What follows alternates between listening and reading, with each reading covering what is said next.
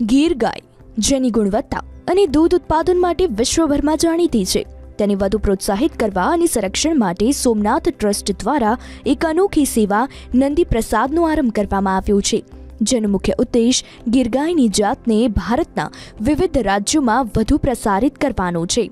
પ્રથમ વખત સોમનાથ ટ્રસ્ટ દ્વારા તૈયાર કરાયેલા શ્રેષ્ઠ ગુણવત્તાવાળી ગીર ગાયના નંદીઓને સાબરમતી ગૌશાળા, અમદાવાદ, સુરત, બોટાદ, જૂનાગઢ અને ગીર સોમનાથ સહિતના જિલ્લાઓના ખેડૂતો અને ગૌશાળાઓને પ્રસાદ સ્વરૂપે આપવામાં આવ્યા છે.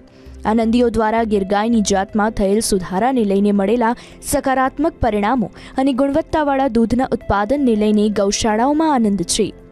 ટ્રસ્ટ દ્વારા જે ટ્રસ્ટની ગૌશાળા છે એમાંથી પણ જે ગીર ગાયના ઉત્તમ ઓલાદો છે કે જે મૂળ છે, એ આસપાસની ગૌશાળા કે ગુજરાતની અનેક ગૌશાળાઓમાં, સાબરમતી ગૌશાળા છે, સુરતમાં છે, એમ અલગ અલગ ગૌશાળામાં આપવામાં આવે છે ને, એના પરિણામ પણ ઉત્તમ મળ્યા છે. હાલ પણ ટ્રસ્ટ દ્વારા ટ્રસ્ટના જે મૂલ છે એ વિનામૂલ્યે મૂલ્યે જુદી જુદી ગૌશાળાઓમાં ટ્રસ્ટ દ્વારા વિતરણ કરવામાં આવે છે, ભગવાનની પ્રસાદી રૂપે આપવામાં આવે છે.